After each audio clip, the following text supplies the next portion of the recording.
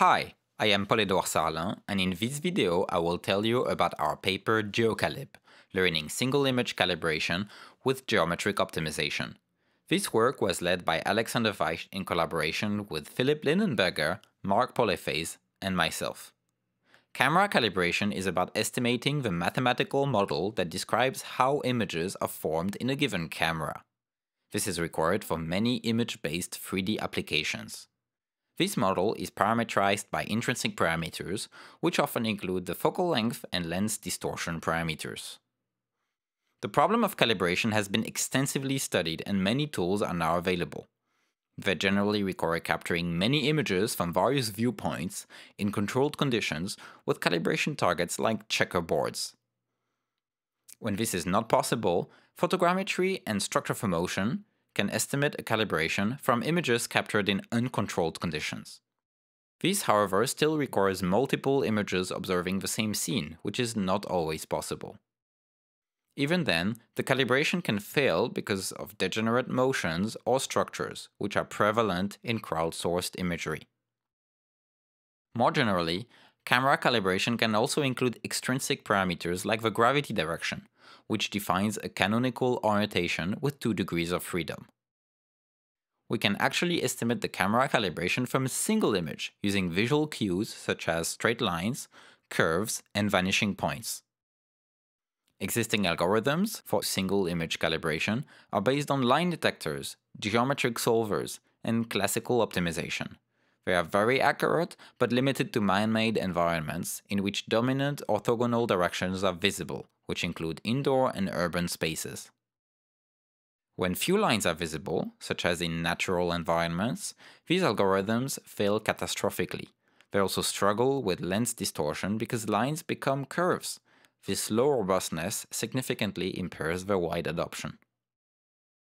Alternatively, some research has tackled this problem with deep neural networks trained in a supervised manner to estimate the calibration parameters.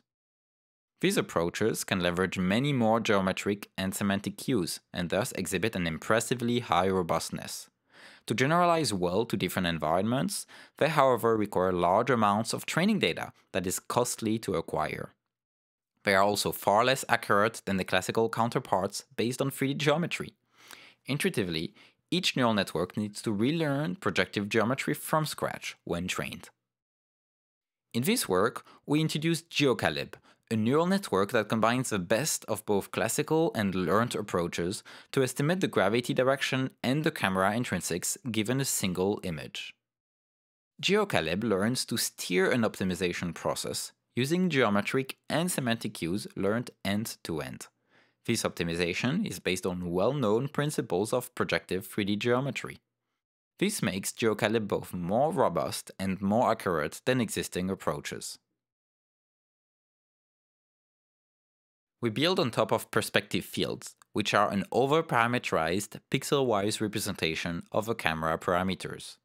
They consist of two components. First, the latitude is the angle between the viewing ray, here shown in blue, and the horizontal plane, here shown in red. This angle is shown in green and is intuitively zero on the horizon line. Second, the up vector is the projection of the up direction into the image plane and is shown as a green arrow. It corresponds to the direction of vertical lines, but it is not limited to them.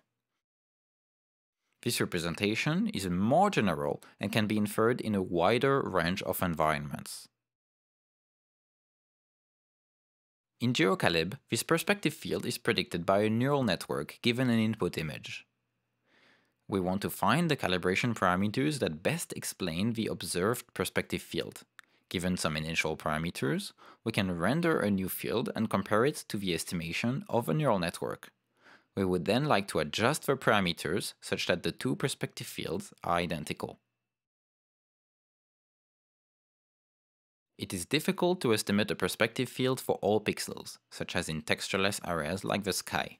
We thus let the neural network predict a pixel-wise confidence, which we can use to weight the comparison. To find the optimal calibration parameters, we consider a least squares optimization problem between observed and rendered perspective fields, and we solve it using the Levenberg-Marquardt algorithm, which is an iterative second-order solver. This optimization is differentiable, so GeoCalib is trained end-to-end -end by supervising the estimated camera parameters. The confidences are thus learned to steer the optimization towards the correct solution.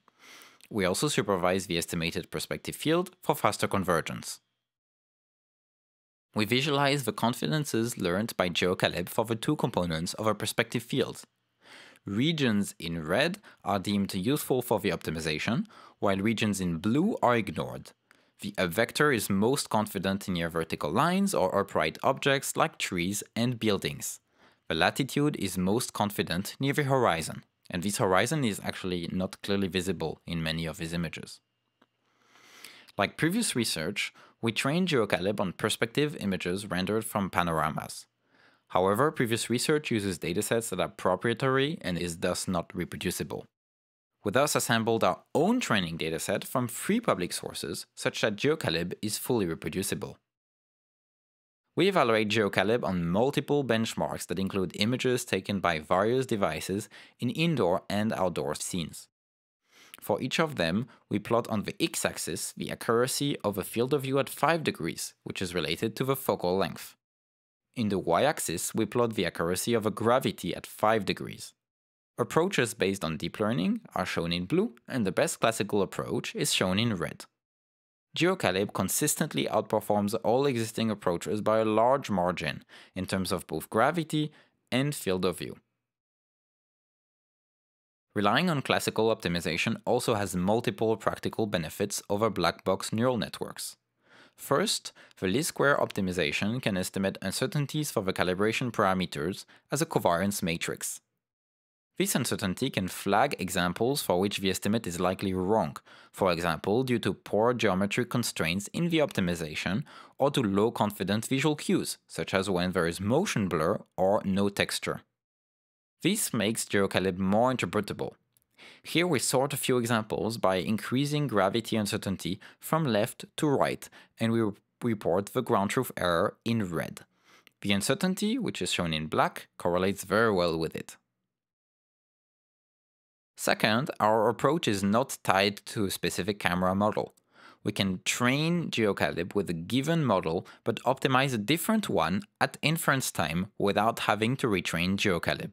For example, GeoCalib trained only with pinhole images, here in purple, can handle images with radial distortion better than all previous approaches trained with distorted images, in green and red. Of course, adding such images to the training dataset improves the accuracy further, as shown with the yellow bar. As a third benefit of optimization, GeoCalib can leverage prior knowledge of some parameters. For example, the camera intrinsics can be found in the EXIF metadata or estimated by Structure from Motion, such that GeoCalib needs to estimate the gravity only. GeoCalib can use these intrinsics as a hard constraint by fixing the parameters or as a soft prior with a regularization term. Our experiments show that this can further improve the accuracy of the remaining parameters to a large extent and consistently in all benchmarks. When the focal length is known, the gravity estimated gets more accurate. Conversely, when the gravity is known, the field of view is more accurately estimated. Finally, GeoCalib can couple the optimization across multiple images. For example, images captured by the same camera share identical intrinsic parameters, which should be optimized jointly, while the gravity direction is different in each image. Unlike classical geometry tools, the images don't need to have any visual overlap. As shown by the red curves, this joint optimization improves the estimation of both gravity and intrinsics as more images are included. This would not be possible with a black box neural network, which can only average the camera intrinsics over the images. Um, and as shown in the blue curve, this is not beneficial. To conclude this video, GeoCalib is a new approach to single image calibration. It is more robust and more accurate than existing approaches thanks to a combination of deep learning and geometric optimization. This optimization has multiple benefits that make it easier to use GeoCalib in practical application. The code and the weights are publicly available with a permissive license. Thanks for watching.